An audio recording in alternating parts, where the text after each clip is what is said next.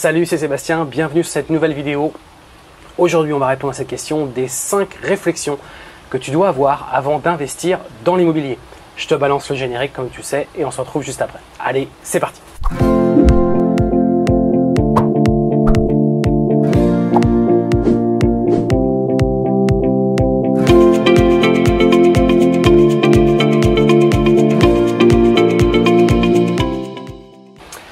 Commencer cette vidéo, je vais t'inviter tout d'abord à liker celle-ci, je vais t'inviter aussi à t'abonner, à rejoindre les milliers d'investisseurs et d'entrepreneurs qui ont déjà rejoint cette chaîne, tout simplement en cliquant tout en bas, tu verras, il y a un bouton qui va te permettre de t'abonner. Et puis avant de commencer, je vais te livrer trois bonus trois bonus, trois formations gratuites que je t'ai préparées sur l'investissement locatif et la location courte durée, comment doper ton cash flow, comment remplir ton calendrier, comment automatiser ta location courte durée. Une deuxième formation que je t'ai préparée gratuite également sur la sous-location professionnelle et immobilière. Si c'est quelque chose qui t'intéresse, eh bien je t'invite à découvrir ça tout en bas de cette vidéo. Et enfin une dernière formation autour de comment monter un business sur une conciergerie Airbnb. Si ces sujets t'intéressent, je t'ai préparé des formations totalement gratuites à découvrir tout en bas. Alors aujourd'hui, dans cette vidéo, je voudrais vraiment partager avec toi et je voudrais vraiment qu'on discute de euh, ce qui est vraiment important et ce qui, euh, les choses, les, les réflexions que tu dois avoir sur tes investissements locatifs. Ces réflexions, tu les as elles sont pas les mêmes pour tout le monde, très clairement. Tout dépend de ta situation aujourd'hui financière, ou peut-être que tout dépend des objectifs que tu te seras fixé également, ce que tu veux faire également dans l'immobilier. Pour certaines personnes, eh bien, euh, ça va être par exemple avoir plusieurs appartements et puis derrière ces appartements seront gérés par, euh, par une société de gestion. Par contre, d'autres, ça va être plutôt des investissements qui vont faire dans des immeubles puis derrière, ils vont créer plusieurs euh, appartements dans cet immeuble. Et puis derrière, ils vont s'occuper absolument de tout. Ils vont l'exploiter d'une certaine manière pour devenir libre financièrement. C'est-à-dire que, eh bien, pour eux, l'immobilier, ça va être un moyen de euh, sortir de leur métro boulot dodo et derrière se générer des revenus en même temps qu'ils vont capitaliser. Ça, va la, stratégie que tu, vas, bah, que tu vas adopter, ça va vraiment dépendre que de toi. Et chaque projet immobilier est vraiment spécifique à ce que toi tu veux faire. Donc l'immobilier, bien évidemment, moi je recommande fortement d'en faire, c'est évident, euh, dès le plus jeune âge, hein, dès que tu sors de l'école, même quand tu es encore étudiant. Aujourd'hui, à travers notamment les prêts étudiants, c'est possible aujourd'hui de faire, de, l'acquisition euh, d'appartements. Donc il faut le faire dès le plus jeune âge. Je, même moi, mes enfants, je leur en parle, je commence déjà à leur en parler parce que pour moi c'est quelque chose d'important. Plus tu vas démarrer tôt, plus derrière tu vas sécuriser ton avenir, quand on sait notamment qu'on n'aura peut-être pas forcément de retraite ou qu'il faudra travailler de plus en plus tard, bah, c'est vrai que l'immobilier, c'est vraiment important d'en faire. Maintenant, il y a plusieurs manières de faire de l'immobilier, il y a plusieurs types d'exploitation, ça correspond aussi à plusieurs euh, profils de personnes tu des personnes, quand je te le disais, qui vont plutôt bah, elles, euh, acheter plusieurs appartements et puis derrière les confier à euh, des, sociétés de gestion qui vont gérer leurs appartements. Il y a des personnes qui vont peut-être investir dans des, par exemple des grosses villas ou dans des, euh, bah, des gros appartements qui vont générer un loyer chaque mois assez important, donc elles, vont plutôt réfléchir en termes de volume, c'est-à-dire qu'elles vont pas forcément regarder la rentabilité, euh, la rentabilité nette, elles vont peut-être se contenter d'un 4, 3, 4, 5%, mais parce que derrière, elles veulent plutôt diversifier euh, leurs actifs, diversifier leurs sources de revenus, et donc elles, elles vont plutôt voir, eh bien, voilà, ils achètent une grosse villa, qui va coûter très cher et derrière il y aura des, loyers très importants qui vont tomber tous les mois et donc ça sera des, euh, euh, des revenus euh, assez, assez importants. Par contre, il y a d'autres personnes qui, elles, au contraire, vont plutôt chercher des immeubles et au contraire vont faire de la division dedans et derrière vont créer plusieurs, plusieurs appartements, peut-être même qu'elles vont le gérer par elles-mêmes, parce que derrière elles veulent se créer, et eh bien, elles veulent devenir libres financièrement et elles veulent, eh bien, grâce à ce type d'exploitation, par exemple la location courte durée ou la colocation, eh bien, elles veulent, à travers notamment des immeubles, c'est vrai qu'elles veulent, ce qu'elles cherchent avant tout, c'est euh, bah, se constituer un patrimoine, bien, entendu, pour le futur, mais c'est aussi pour devenir libre financièrement, c'est-à-dire pour vivre de l'immobilier finalement. Donc tu vois bien que en fonction euh, de ta situation actuelle, eh bien, l'immobilier, ça n'a pas du tout la même signification pour toi. Il y a aussi des personnes qui cherchent à travers l'immobilier eh bien, à euh, faire de la, défiscalisation, c'est-à-dire qu'elles cherchent eh bien, à payer moins d'impôts. Donc tu vois bien, il y a, d'autres profils de personnes qui font de l'immobilier, mais qui ne font pas de l'immobilier peut-être comme toi et moi, mais qu'il faut l'immobilier plutôt, eh bien, comme je te disais, pour défiscaliser. Alors bien que moi je recommande absolument pas tout ce qui est loi Pinel et tout le tralala, euh, quand j'étais jeune, moi j'avais une très bonne, euh, une très bonne situation, donc je gagnais très bien ma vie et forcément la première chose que j'ai pensé c'est comment je peux optimiser ma fiscalité et comment je peux payer mon impôt. Sauf que j'ai fait l'erreur de faire un, un 2 euros bien, c'était un 2 euros bien à l'époque. Et euh, bon, tout ça c'est un peu la même chose, hein, c'est la même chanson.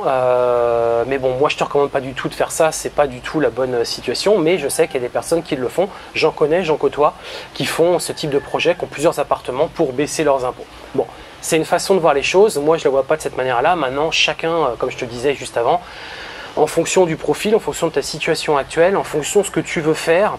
Euh, est-ce que tu veux plutôt garder ton emploi et faire de l'immobilier en parallèle? Est-ce que tu veux au contraire plutôt devenir libre financièrement et, eh bien, euh, faire de l'immobilier, gagner de l'argent avec l'immobilier? Bref, en fonction de ce que tu veux faire ou en fonction de ta situation, eh bien, tu vas adopter une stratégie qui va être différente.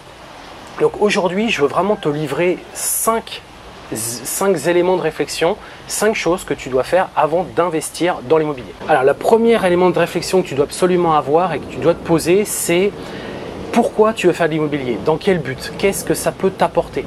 Est-ce que c'est pour diversifier tes revenus?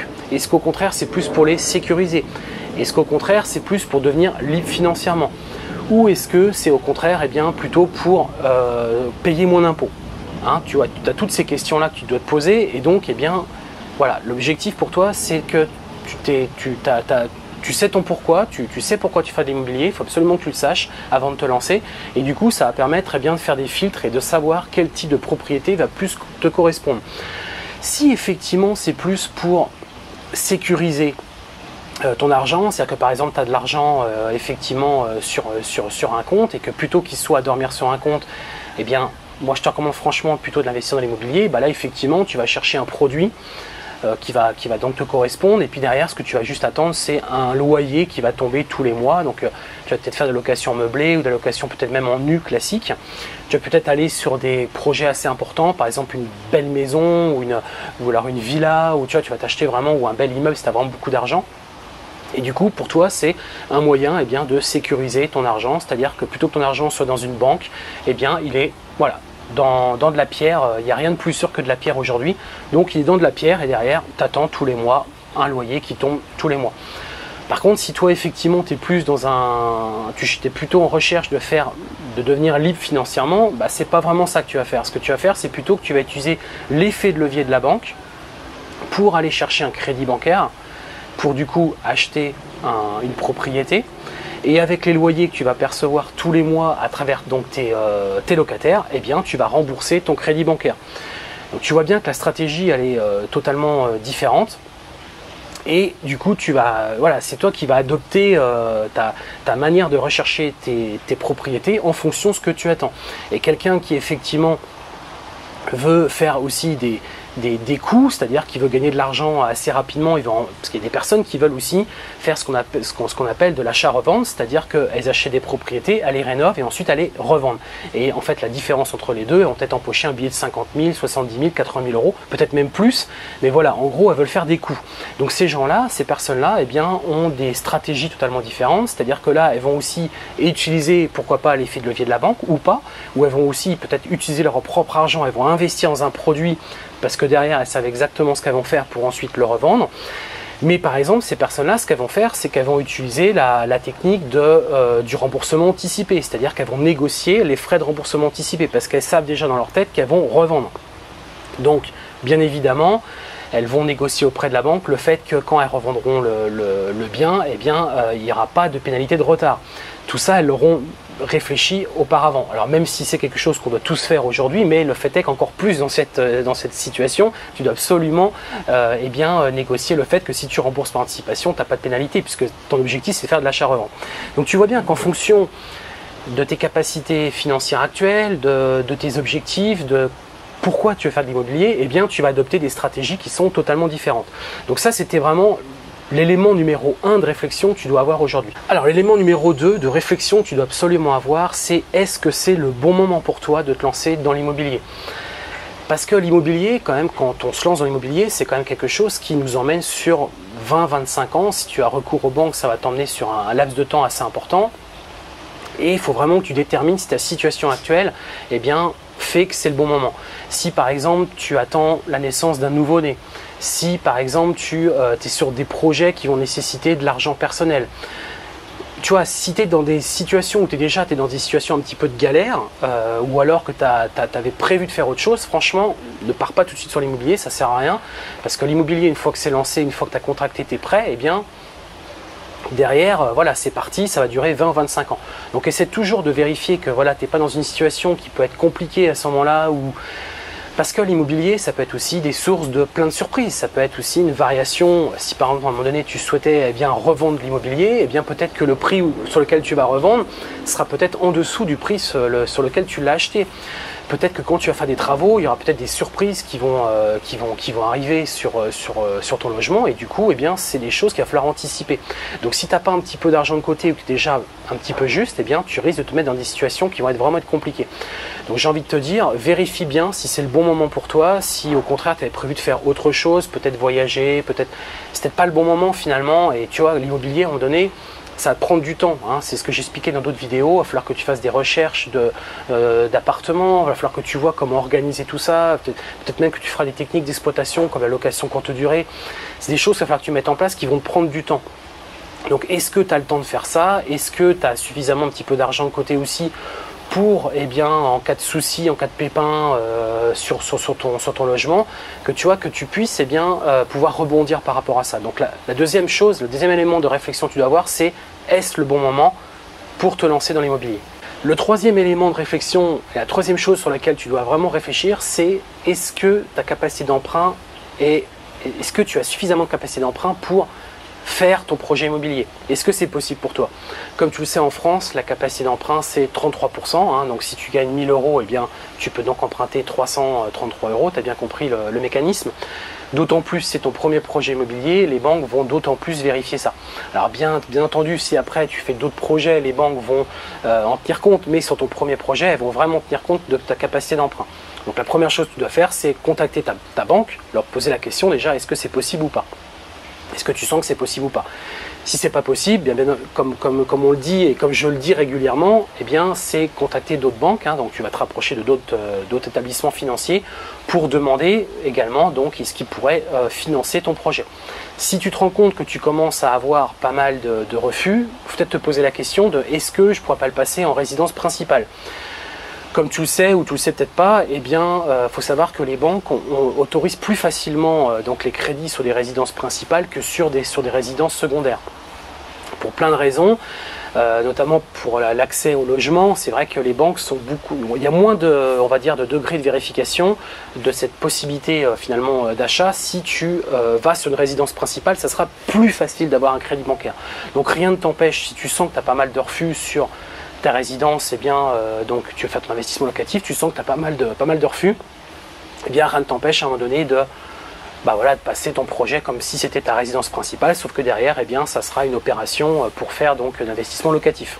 Il n'y a rien qui t'interdit de faire ça. Donc, c'est une solution que tu peux, voilà, c'est des questions que tu dois te poser. Si tu sens qu'à un moment donné ça va être compliqué, et bien, peut-être utiliser cette stratégie-là. Autre chose aussi, bien vérifier ta, situation actuelle. Alors même si des situations, par exemple, tu es en intérim ou tu as des contrats précaires, font que tu peux très bien avoir des, crédits bancaires, hein, je ne te dis pas que c'est impossible, c'est plus compliqué, mais c'est pas impossible.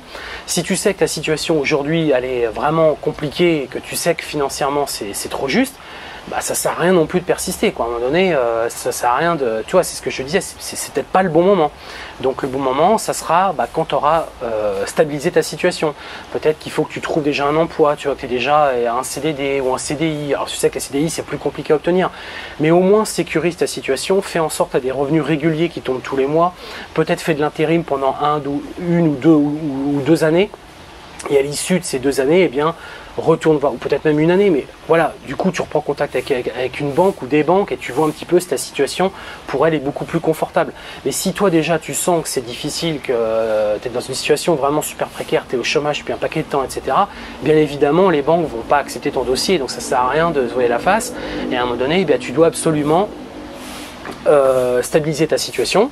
Et puis si tu sais que même ta situation stabilisée, tu sens que la banque est toujours un petit peu réticente, et eh bien rien ne t'empêche d'utiliser cette technique de le faire passer en résidence principale pour derrière pouvoir accéder au logement et pouvoir du coup lancer ton investissement locatif. Ça c'est un parfait moyen pour, pour, pour y arriver, pour arriver à tes fins finalement quand tu veux faire un investissement locatif. La quatrième chose, donc le quatrième euh, élément de réflexion sur lequel je veux vraiment euh, t'amener à réfléchir, c'est euh, ne pas se mettre en difficulté. C'est vraiment super important que l'immobilier ne vienne pas te rajouter une angoisse, un stress particulier par rapport à ça, parce que qui dit immobilier dit très certainement travaux, dit donc crédit bancaire. Si à un moment donné tu n'arrives pas voilà, à payer le crédit bancaire parce que tu es trop juste, tu vois, c'est tout ça que tu dois absolument, toutes ces questions-là. Alors l'objectif de cette vidéo, c'est pas d'entrer dans le détail, j'en ai fait d'autres, donc je t'invite à les regarder où je t'explique justement comment te projeter par rapport à ton investissement locatif, quelle rentabilité tu peux espérer, tu as une rentabilité la plus basse et la rentabilité la plus haute, et pour que du coup tu puisses vraiment te projeter, pour que tu puisses être serein, c'est-à-dire que quand tu, vas acheter ton appartement, ta, résidence, ton immeuble, etc., vu que derrière tu as fait ton étude de marché, tu as vu ce, que, tu vas pouvoir espérer en termes de, de loyer locatif, tu vas être rassuré. Mais l'objectif, c'est pas de te mettre en difficulté. Si déjà ta situation actuelle est précaire, c'est compliqué, euh, tu sais que tu as du mal à joindre les deux bouts, ou que voilà, donc tu te lances dans l'immobilier en disant ouais, ça a révolutionné ma, vie, je vais, je, vais, je, vais, je vais devenir libre financièrement, tu prends un énorme risque, un énorme risque.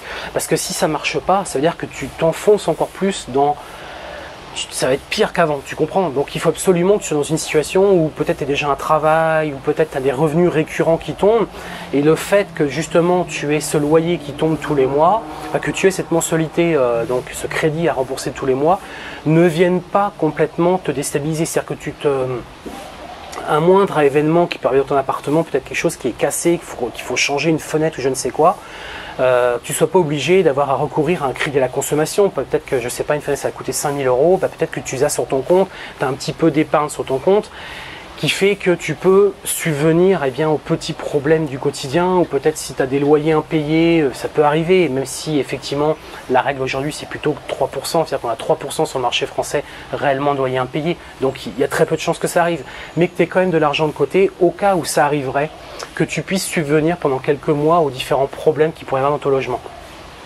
Ne sois pas ricrac, ne sois pas...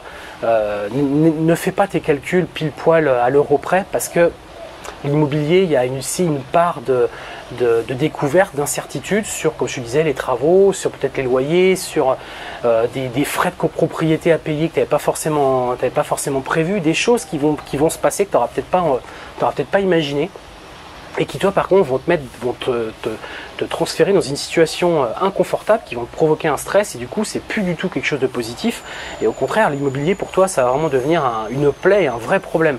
Donc c'est vrai qu'on parle beaucoup de tout ça sur, euh, sur YouTube, on dit beaucoup que l'immobilier euh, libre financièrement, on va gagner de l'argent, etc. Oui c'est vrai, mais encore une fois il faut, il faut le faire quand tu es dans une situation qui s'y prête réellement. Ça sert à rien de partir dans un truc délirant si tu sais que ça peut te mettre gravement en danger il peut y avoir n'importe quoi.